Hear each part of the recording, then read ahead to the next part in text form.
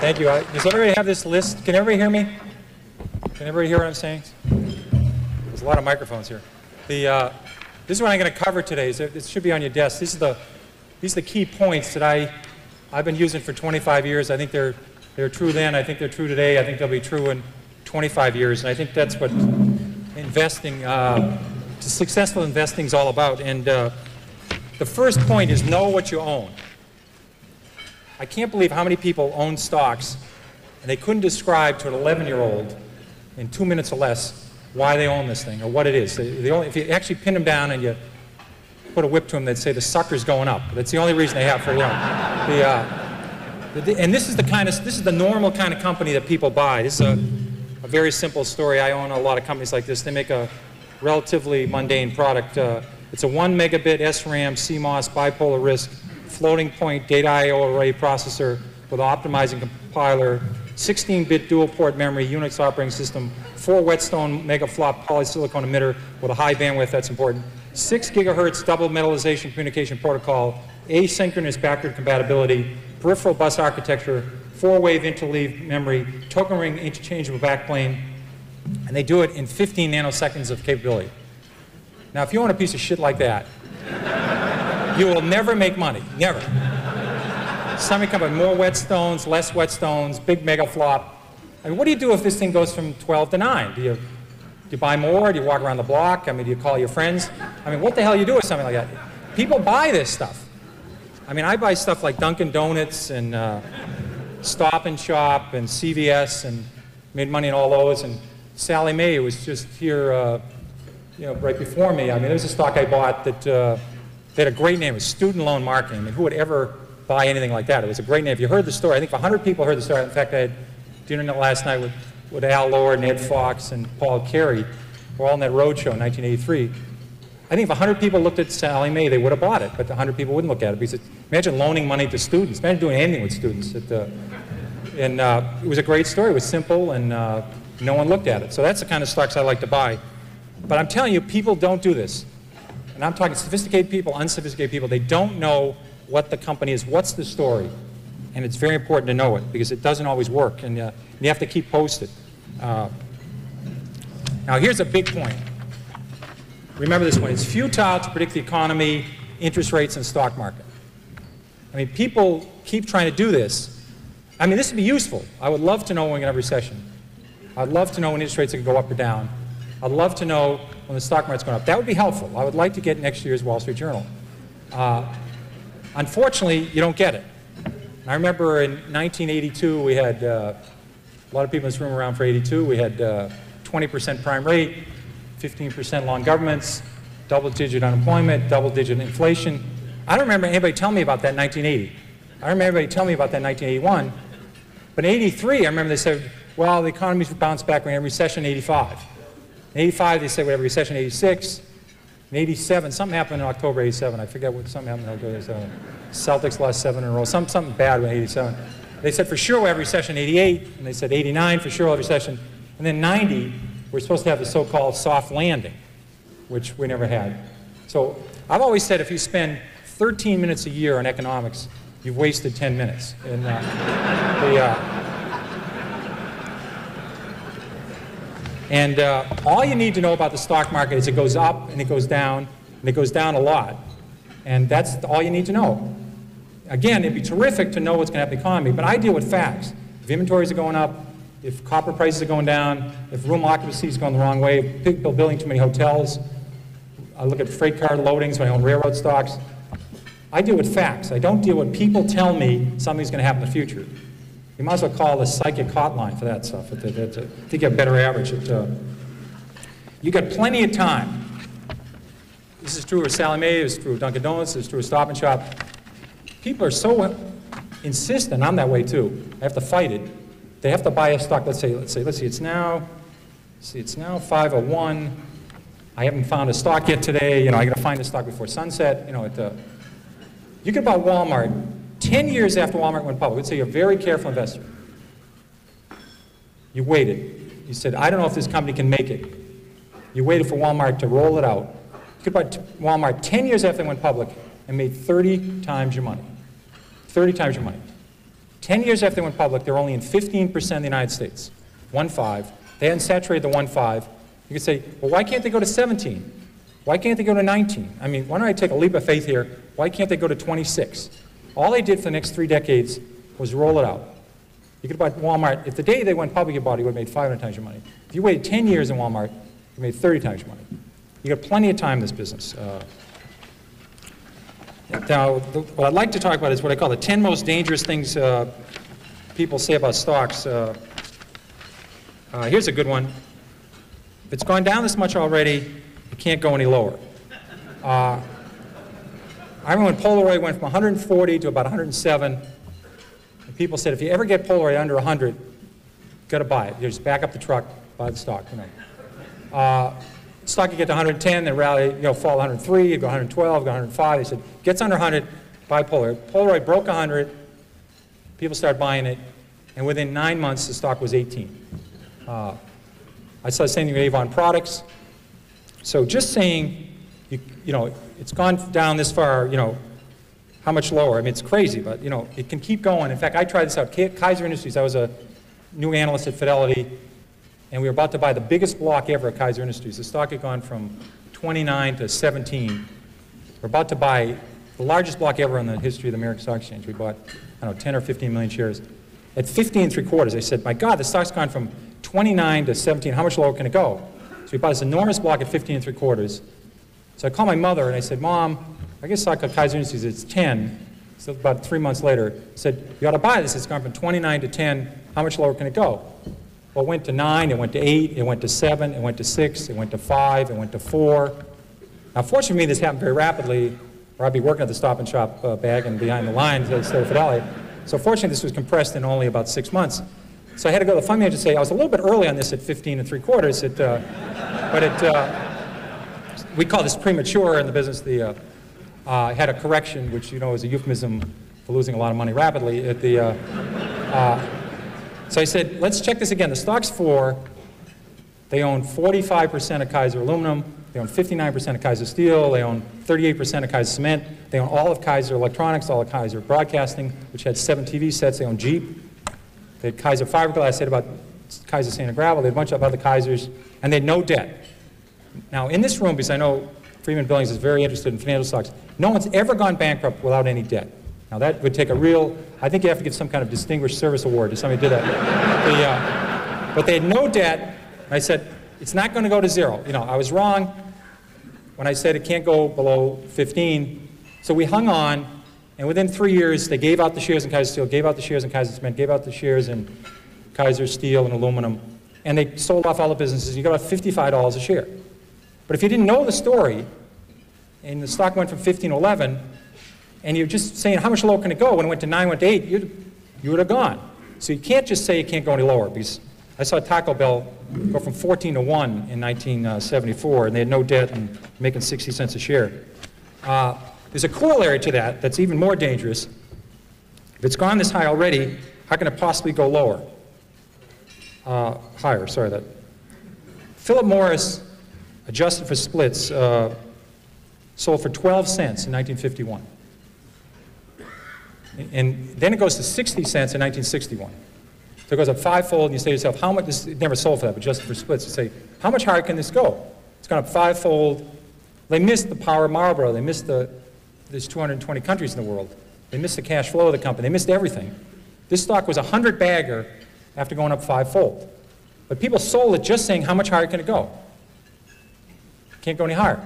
They did the same at Home Depot. They did the same with Toys R Us. I did the same thing at Toys R Us. Just saying it can't go any higher, it's gone this much already, that's very dangerous, and don't, don't use that one. And uh, I, it's a very bad thing to do. Eventually, they always come back. Here's another one that sucks. Uh, that's a technical stock market term we just use only in the stock market. The uh, uh RCA just about got back to its 1929 price, and was backed out by GE. Uh, Manville never came back. International Harvester, even with its name changed and adjusted for splits, hasn't got all the way back yet. Western Union, double knits, remember those wonderful things, uh, floppy disks? They don't have to come back. But they say eventually they always come back. Uh, not true. Uh, here's a great one. It's $3. How much can I lose? This is a great one. Because yeah, I get get out. This is I don't have a computer and I can't do uh, high level math, but uh, just do this one. Let's say you buy your neighbor buys ten thousand dollars of a stock at fifty, and the stock's now three, and you put twenty five thousand dollars in at three. If it goes to zero, who loses the most? a lot of people cannot answer this question. You know, the. Uh, I mean, if you put a billion in at three, you can lose a billion. If, you know, I mean, they blow taps in lots of companies every year. You know, you just have they can go to zero. Uh, the, uh, here's a good one that helped me a lot. It's always darkest before the dawn. Uh, the, uh, this business is terrible. It's awful. You ought to buy the group. This is not a good way of making money. It, uh, the, uh, here's one you're probably talking about before lunch, freight car deliveries. in 1979, there was 96,000 freight cars delivered in the United States. Two years later, it fell to 45,000, the lowest in 23 years. It goes from 96,000 to 45,000. People say business is awful, it's horrible, pathetic. Then it falls to 25,000. They say just load up. There's about 15 opportunities to lose money. There's about 15 suppliers of freight cars, 15 manufacturers. Business was awful. Well, last year we shipped 7,000 freight cars in the United States. The business just continued to be miserable. And uh, I'll give you one that's even, there's even greater opportunity to lose money on. Uh, energy services industry. This, we all had a great opportunity to get our heads handed to us. Uh, in 1982, there was 11,000 of those oil rigs drilling left, you know, drilling those holes all over Oklahoma and Texas and Colorado. We used to have the rig count every week. And the rig count fell from 11,000 in 82 to 6,000 in 83. Then fell a little bit lower in 84. And there's hundreds and hundreds of companies here. Companies that made the muds and did the downhole stuff, the fracturing companies, the the, the well companies, all the measurement companies, the Schlumbergers, the bid companies, lots of opportunities to lose money here. There's an equal opportunity, opportunity here for serious losses. And the people said, listen, the business is terrible, let's buy these groups. Well, the rig count was only 1,000 three years ago. So it went from 11,000 to 6,000 to 5,000, then eight years later it was under 1,000. The industry really started to turn about two years ago. So just saying the business can't get worse I, I, was lucky enough, in addition to having the metals industry in Star Fidelity, I had the textile industry, which is a great group to follow because you follow companies like J.P. Stevens, was founded in the 18th century, and uh, West Point Pepperell was founded in the 18th century. Burlington Industries was one of the new companies that was founded in 1904. These people have been through recessions, depressions, world wars. They've seen it all. There's a great expression in the textile industry. It's always darkest before pitch black. the, uh, the, uh, now that's a good one to remember because when business is terrible, it can get considerably terrible. It can get terrible to the power of six. And uh, it, uh, I love those numbers on freight car deliveries. You ever watch, I love the show Jeopardy. Ever watch Jeopardy and people come out, they will know those numbers. Remember, they'll know the numbers. And they'll know, you know, what, uh, what country uh, Box uh, took his first vacation in, and they'll know Phil Rizzuto's batting average and what his wife's first name was, and they'll know the stock symbols of Xerox before it was Haloid, or, you know, they know everything. And you watch the show, and you feel like an absolute idiot watching the show because they answer all these questions. But they're really smart. I own this, I've owned this stock before, King World. Right after it, they show Wheel of Fortune. And, they, and what happens is they'll have this word up there, and it'll be TH, and there's a T, and it's like, buy a vowel here, should I buy a U, you know, to buy an I, and, they, and you know, they Vanna spins the wheel and they buy the A, and you know, you feel, you're redeemed by watching the Wheel of Fortune after you feel like an absolute jerk on the uh, Jeopardy game, and uh, it's really smart. It, uh, uh when I rebound to 10, I'll sell. Uh, here's a great rule. Uh, somebody buys a stock at 10, and it falls to 6. They say, if it gets back to 10, I'll sell. Now, I think the math, 4 and 6, I can handle this level math. I think that's about a 66% return. You ought to buy it. If you think it's going back to 10, you ought to buy the hell out of the damn thing. But they think if it gets back to 10, I'll sell. Now, what you ought to do is never put down a round number because I think for the next 26 years, the stock will be between 5 and 9 and a quarter. It'll never get to 10. So maybe put 9 and 8 or 8 and 3 quarters. But just saying the stock, if it gets back what I paid for it, this is a very important rule. This is, a very, this is one of the key rules. The stock doesn't know you own it. Remember that. You could be a miserable person. You could have, uh, you know, never helped anybody, never done anything right, had 67 spouses, never done anything right. If you own Coca-Cola the last 50 years, it's gone up 300-fold.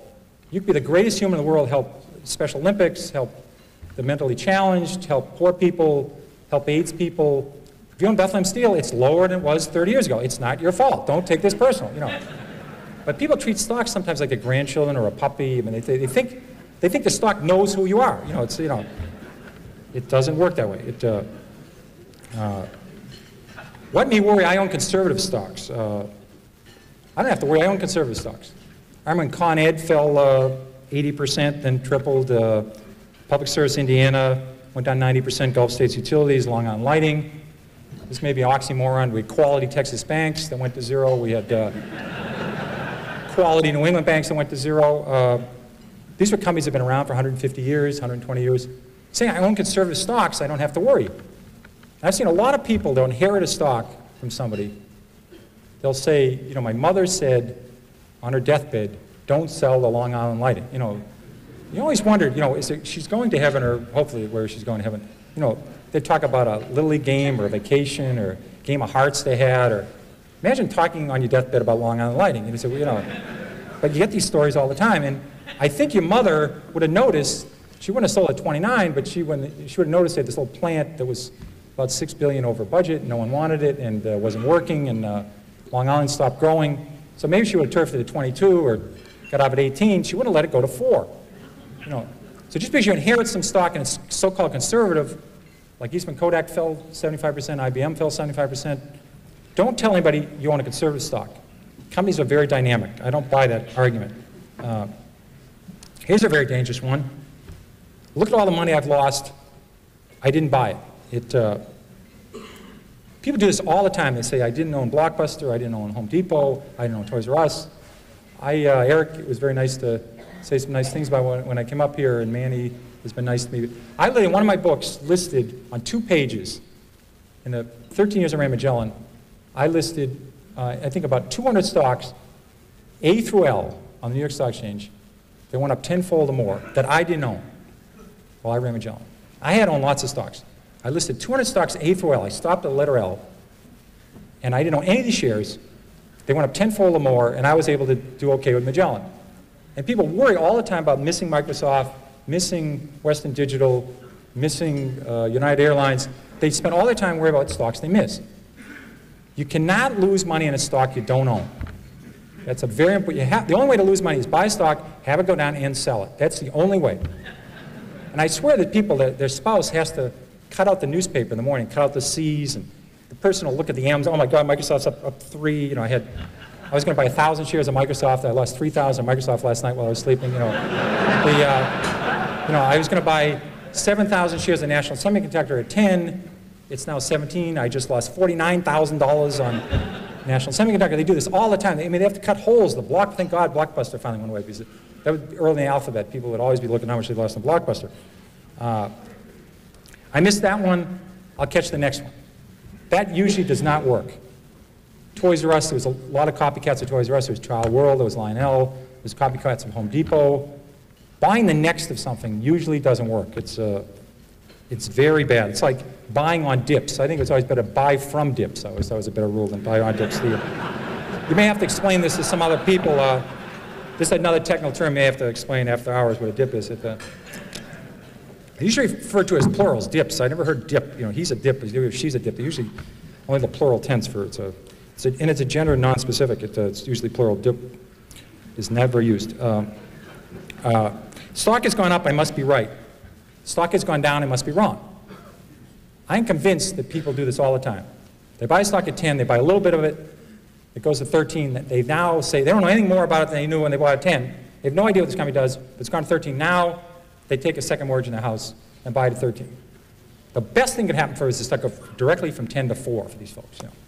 It's going to go to 4 eventually, but it goes to 13 in the middle. They're convinced now, they bought 100 shares at 10, now they buy 20,000 at 13. And uh, all the fact is the stock went from 10 to 13 is it went up. The average movement of a stock in the New York Stock Exchange this century, between its high and its low, has been 50%. The average stock in the New York Stock Exchange. That means the stock started the year 20, Sometime during the year sold 16, sometime during the year sold at 24, might have finished the year 21, might have finished the year 19. The average range of a stock in the US Stock Exchange is 50% in 12 months between its high and low. So stocks go up and down a lot within a year. And say this, stock is going up means you're right, doesn't mean a damn thing. So don't buy off on that one. It, uh, that is not a good one. The, uh, avoid long shots. Uh, these are the companies that, uh, we have this very technical term for this uh, called whisper stocks. The, uh, everybody familiar with whisper stocks? They're, uh, they're great. Somebody call you up and they'll say, hi Pierre, how's Carolyn's, how's Beth doing, how's Annie, how's Mary, have you played any golf? And then they'll say, I want to talk to you about International Blivet. And uh, the next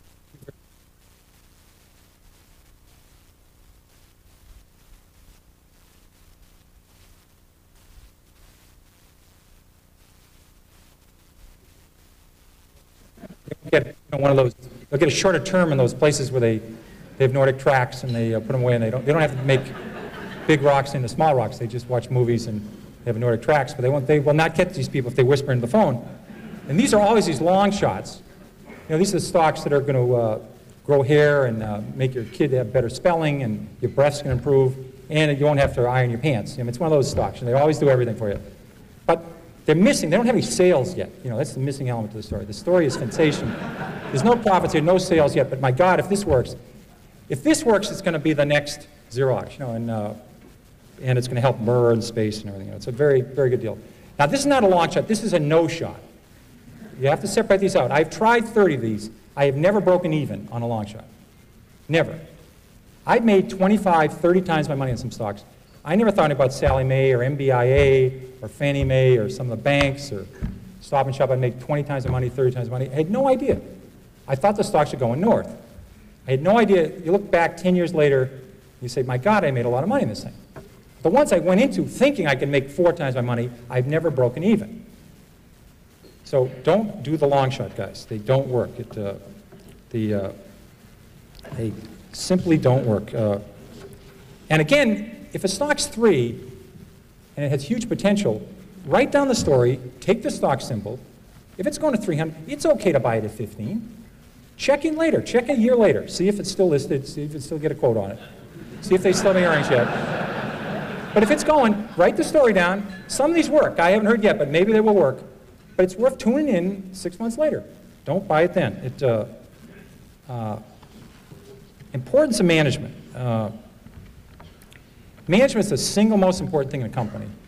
But for an outsider to know great management versus good management versus terrific management versus average management, tough to do.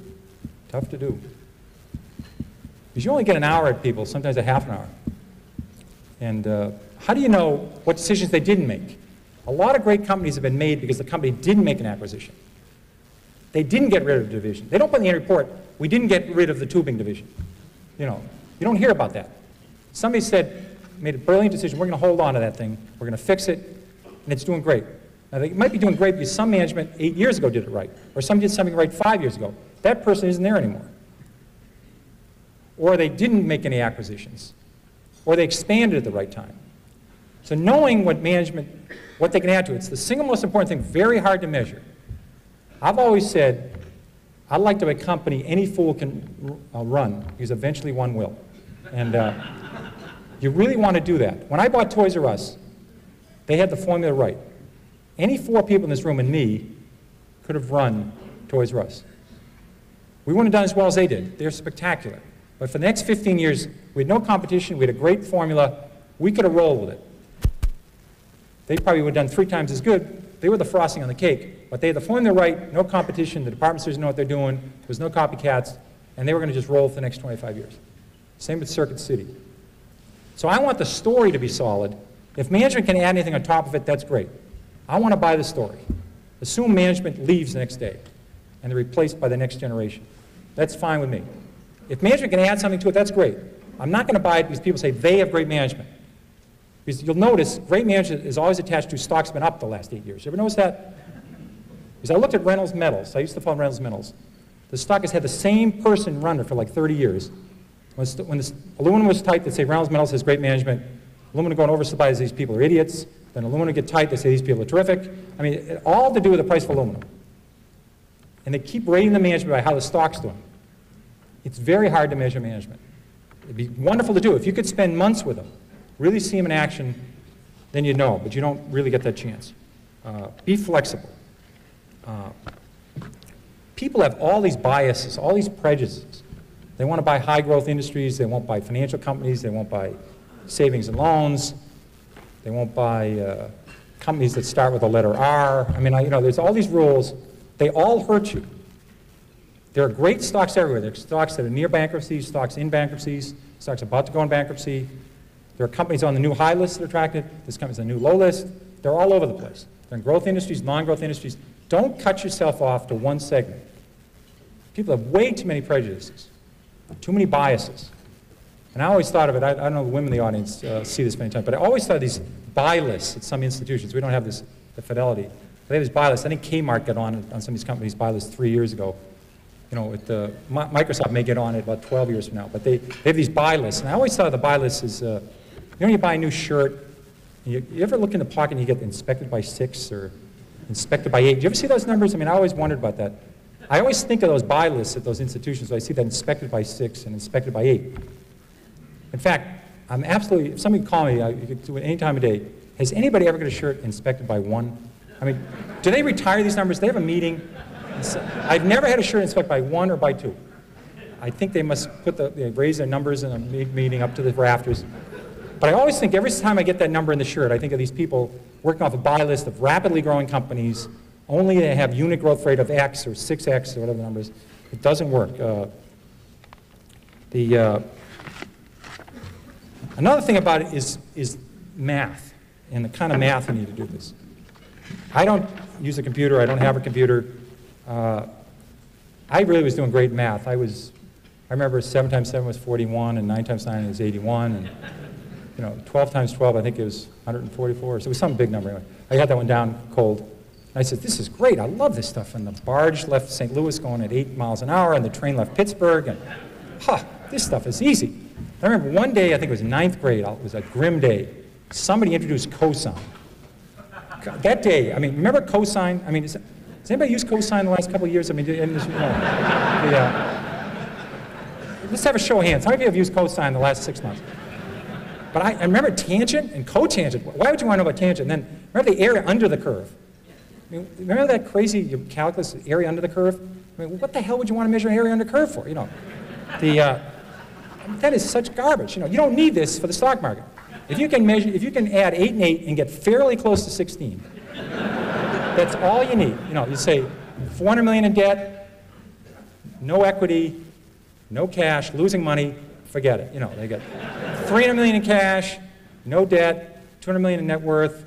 They're losing 10 million a quarter, but they'll be around. That's all you need. You have to get, that's all you need. That does, is not that hard. If you made through fifth grade math, you can handle this stuff.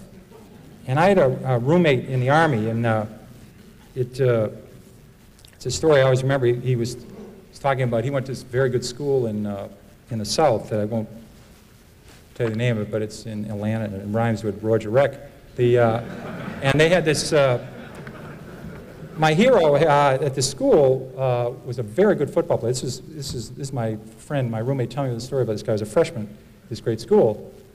And he'd go to the line of scrimmage and they'd change the play. He couldn't figure this out. You know, I don't know if you realize how complicated football is. Half the plays are changed at the line of scrimmage. It's about 300 plays. You go there thinking it's a run to the right. It turns out it's a screen pass to the left or it's a draw. It's, all the blocking assignments have changed. All the passing different. You can do, you have to instantly think, uh-oh, new play. What do I do in this new play? Just like that, and do it. He could not handle these deals. He says, give me the ball, I'll tote it. And he'd go for about eight yards. He was really good at this.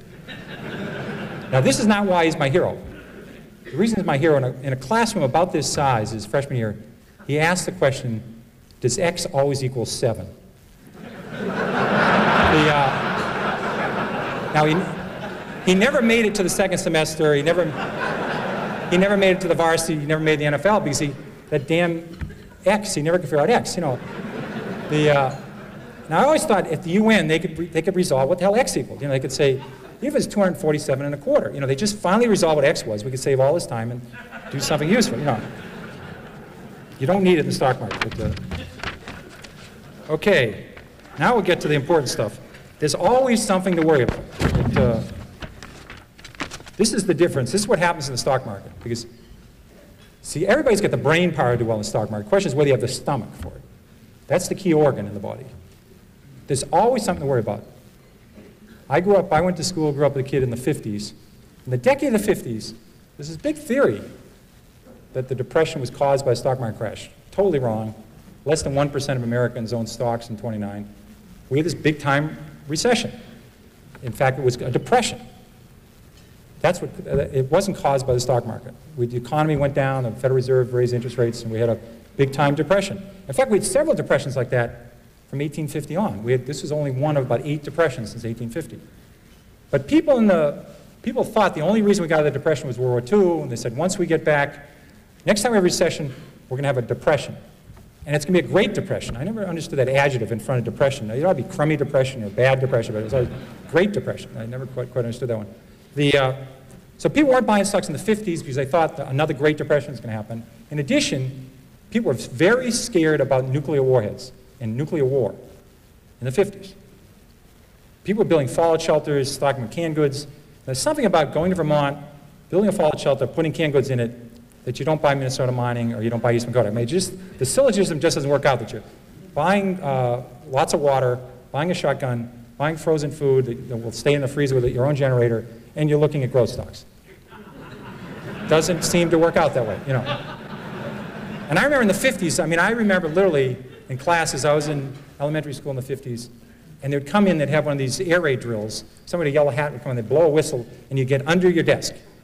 Even then, I says, I don't think this is going to do a lot of good, you know. The, the, uh, but people were worried about a depression and nuclear war in the 50s.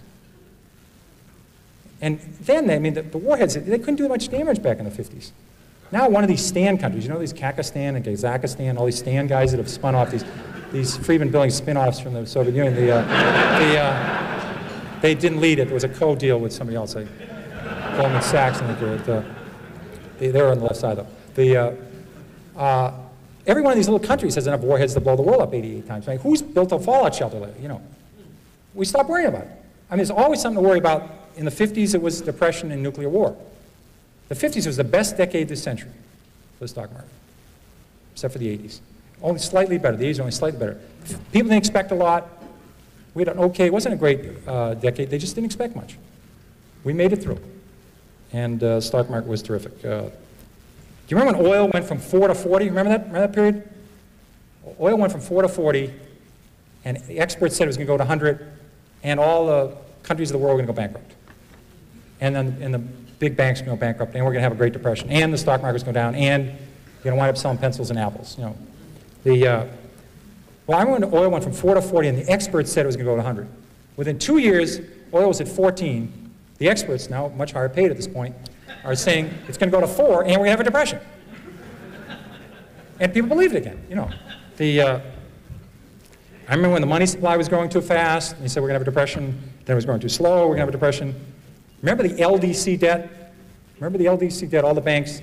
Our banks are very smart. They lend all their net worth to Zimbabwe and Botswana and Botswana and all these countries, Chile, a lot of countries I can't pronounce. This is Chase Manhattan and Chemical and manufacturers Hanover.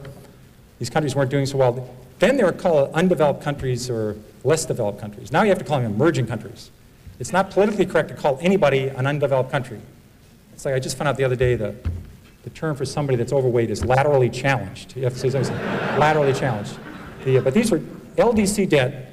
They were all going to go bankrupt, and we're going to have a depression. Uh, then the East was going on in the world. Remember that one? The East was going on the world. They weren't going to buy our bonds, and the market crashed, and we're going to have a depression. Then Japan was going on in the world. Remember that one? Japan was going to have all the assets, and they weren't going to buy our bonds, and we're going to have a depression. Within three years, the Nikkei Dow had gone from 40,000 to 16,000. The banking system was in trouble and people said Japan was going to collapse and we're going to have a depression. I mean, people had, on their prayer list at the end of the day, they had eliminate crippled children and Mother Teresa, they're praying for Japan. I mean, you know, it's a country with a 15% savings rate, you know, it's some bizarre, you know. Commercial real estate, global warming, uh, you know. And I think as the older you get, the more nervous you get about these things.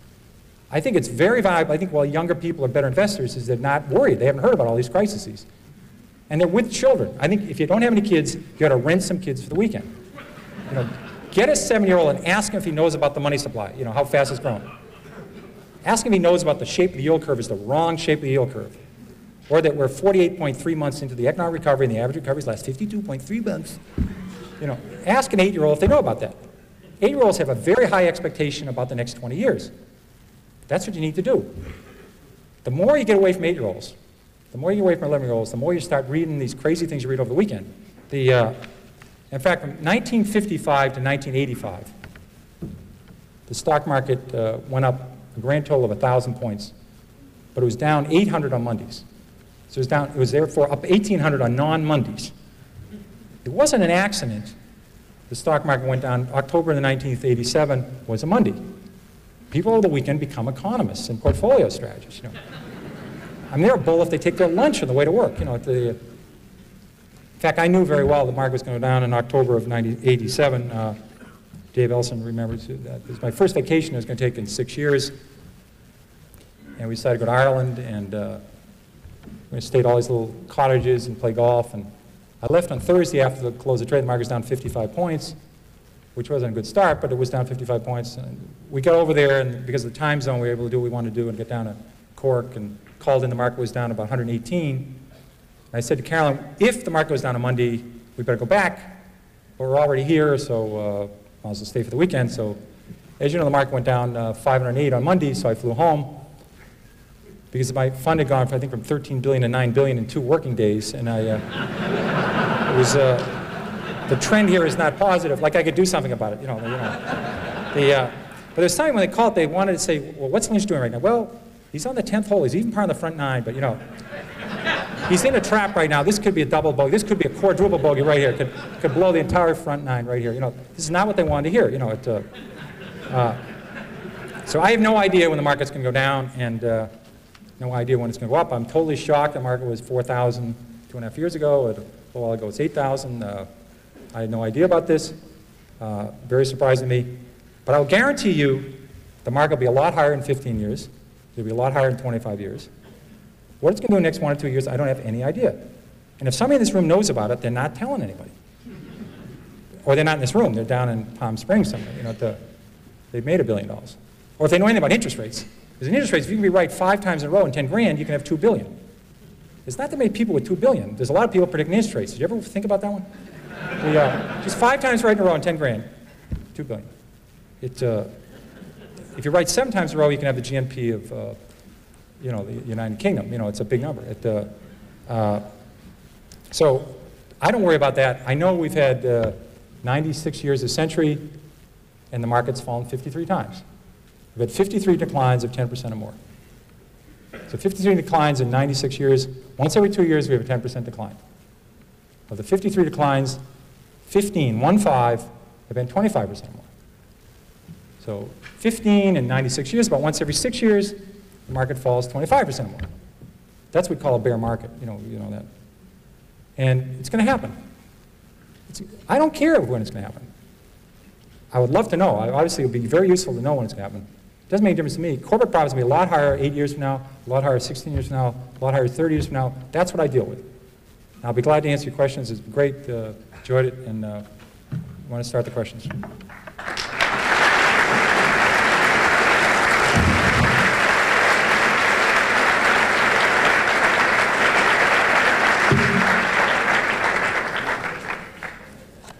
They don't get the question, I'll read the calendar of offerings for Friedman Billings for the next month. Okay. Do you like international stocks? Uh, uh, the question is, I always I found I was better overseas than I was domestically because there's just less coverage. There's less people following these companies. So I think my big theory, and I think it's valid, if you look at 10 companies, you'll find one that's mispriced. You look at 20, you'll find two. You look at 100, you'll find 10.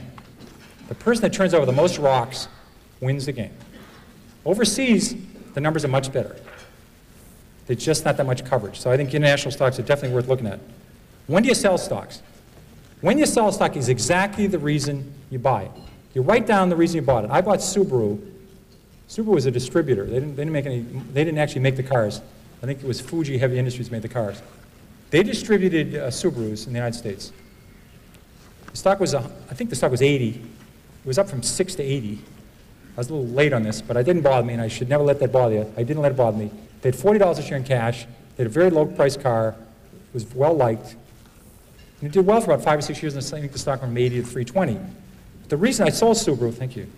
The reason I sold Subaru is Hyundai came in with a low-cost car, Chrysler cut the, cut the price of the Omni Horizon, Ford came out with a low-price car at the end. All of a sudden, the Subaru was no longer unique. If the car's not a buy, the stock's not a buy. That's what you're looking for. The reason you buy a stock, you keep it posted. If the reason changes, you go on to something else. Uh, what industries do you like best today and why?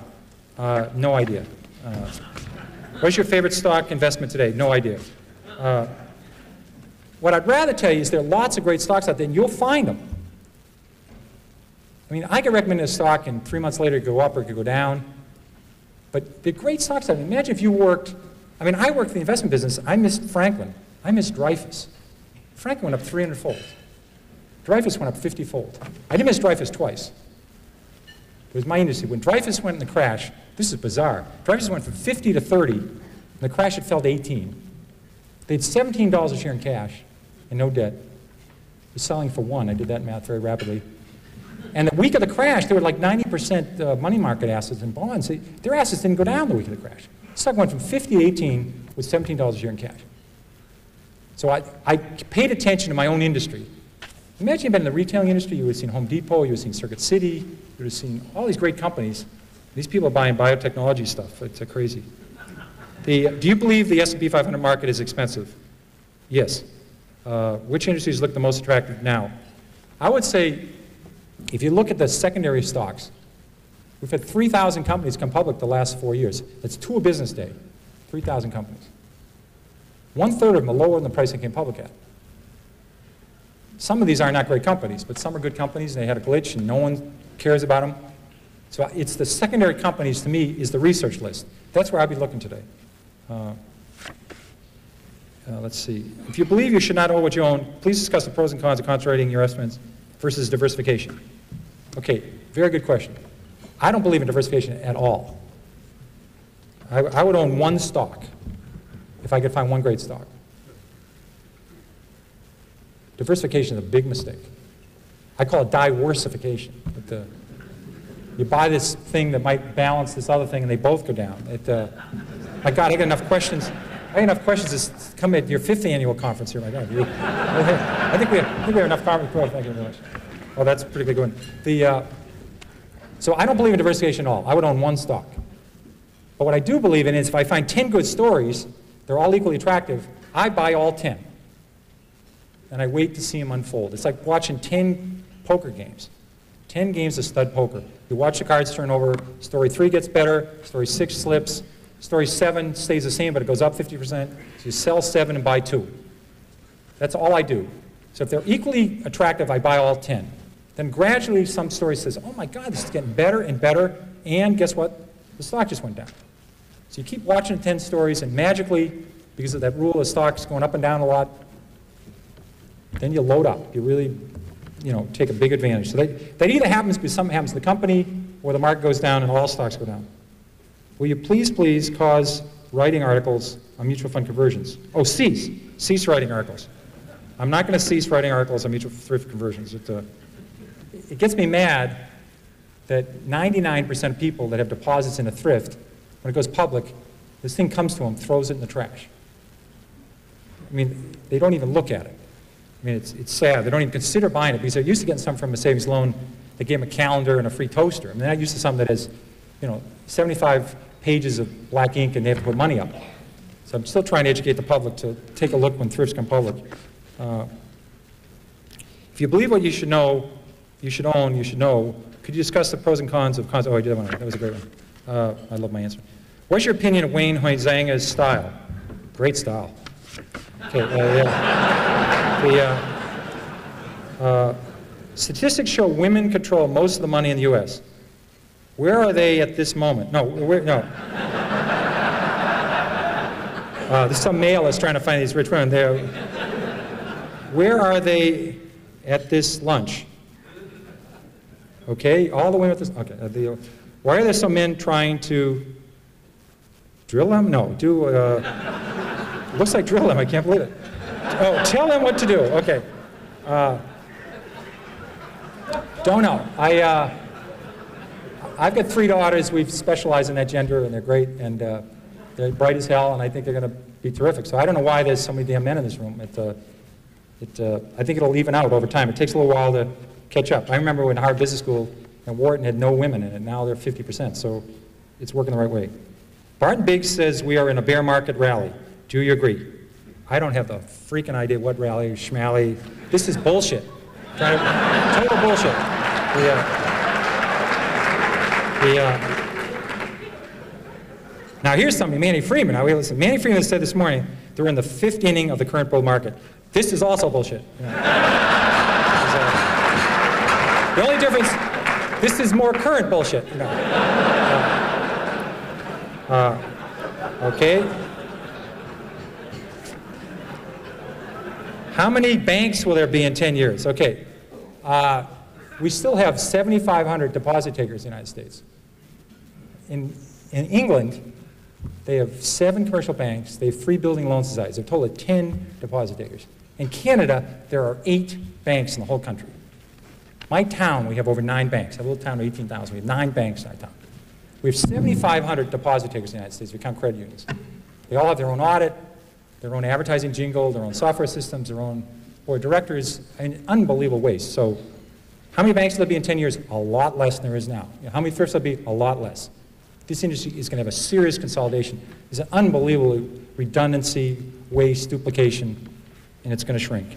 And it works. Now these stocks are up. They use paper. It doesn't cost anything to do it. It, uh, Okay, that's it. I appreciate it very much. Thank you.